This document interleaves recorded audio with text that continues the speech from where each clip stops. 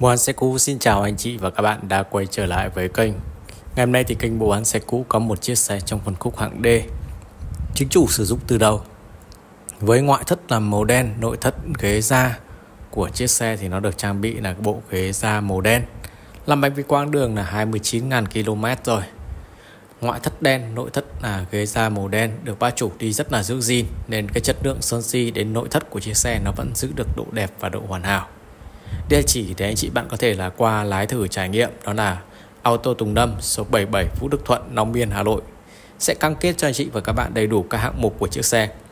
Trên văn bản hợp đồng giấy tờ, xe không đâm va, không ngập nước. Có hỗ trợ các thủ tục sang tên di chuyển, giao xe toàn quốc cho anh chị và các bạn. Những điểm tổng quan ờ, về ngoại thất của chiếc xe thì em cũng sẽ quay sơ qua cho anh chị và các bạn cùng tham khảo với em. Ở phần đầu xe thì nó sẽ nổi bật cho anh chị và các bạn những phần à, mặt ca lăng, lưới tản nhiệt rồi là những phần logo mới dạng 3D à, ẩn sau bên dưới của nó sẽ có trang bị đầy đủ các chứng à, chức năng như là hệ thống radar phanh khoảng cách duy trì làn đường rồi là những cái tính năng tiện nghi của chiếc xe này nó đã trang bị nhiều hơn so với những phiên bản cũ trước đây. Các chi tiết đốp nắp la xăng của chiếc xe đều còn nguyên bản. Gương kính chỉnh điện tích hợp báo rẽ có cảnh báo vượt trên gương đầy đủ của anh chị nhé. Với bản 2.5 Q là phiên bản cao cấp rồi nó sẽ có trang bị rất nhiều các tiện ích à, để mà rõ chi tiết cụ thể thì anh chị và các bạn cùng theo dõi cùng em đến hết clip. Em sẽ đi qua ngoại thất sơn si để anh chị và các bạn có thể đánh giá về thân vỏ của chiếc xe.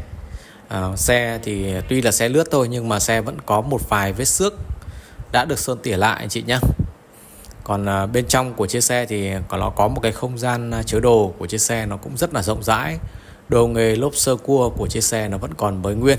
Anh chị có thể nhìn qua các chi tiết em quay. Cái thùng cốp của chiếc xe thì không hề có hiện tượng bị đâm va ở phần đuôi xe.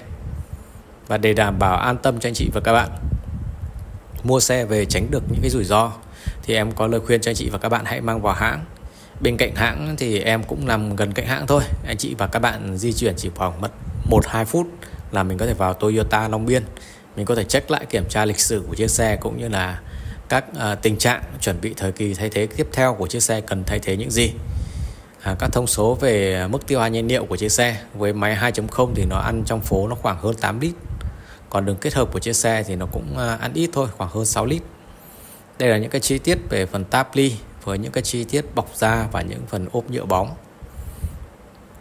Những viền mạ trôm và những cái chi tiết là rèm che chắn nắng hai bên cánh cửa giúp tạo không gian riêng tư cũng như là tránh nắng cho người ngồi phía sau các chi tiết của chiếc xe đều là nguyên bản hết. Em quay rõ cho anh chị và các bạn có thể thấy được về chất lượng của chiếc xe. Bậc lên xuống, vẫn còn siêu ly lông chưa bóc hết.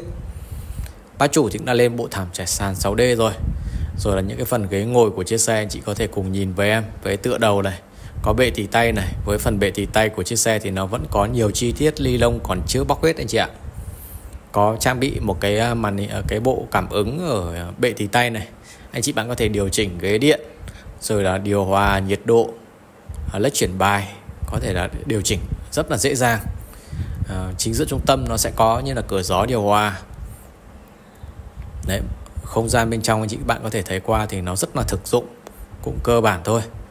Ở trên thì nó cũng được trang bị như là cửa sổ trời. Với các công nghệ an toàn của dòng xe Toyota thì bây giờ nó cũng có sự thay đổi rất nhiều ở các mẫu sản phẩm của nhà Toyota à, không còn à, bảo thủ cố chấp như ngày xưa nữa. Kiểu dáng của chiếc xe nó cũng đã mềm mại cũng như là hợp giới trẻ hơn.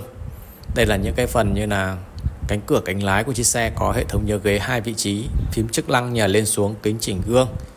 Vô lăng thì vẫn có chức năng chỉnh điện đầy đủ. Với vô lăng này nó sẽ có tích hợp cho anh chị và các bạn. Chức năng là duy trì làn đường hay là phanh khoảng cách giới hạn tốc độ đàm thoại.